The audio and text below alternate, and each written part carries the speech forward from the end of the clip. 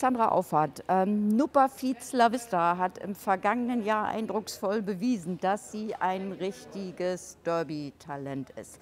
Gab es irgendeine Änderung in der Vorbereitung gegenüber dem vergangenen Jahr?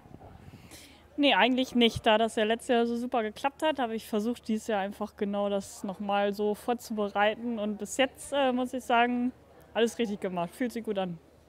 Ähm, Paul Schockemöhle hat gerechnet und hat herausgefunden, okay, sie braucht so ungefähr 70 Punkte aus beiden Qualifikationen und hat mit dem Wissen auch nicht hinter den Berg gehalten. Ist das schön, wenn man einen Promi hat, der für einen mitrechnet? Auf jeden Fall, doch. Ich glaube, er fiebert ordentlich mit und das macht mir auch sehr viel Spaß.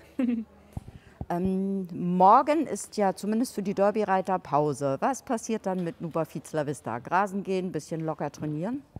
Genau das steht auf dem Programm. Einfach so ein bisschen sie bei Laune halten, ihren schönen Tag bereiten, dass sie gut gelaunt für Sonntag und motiviert ist.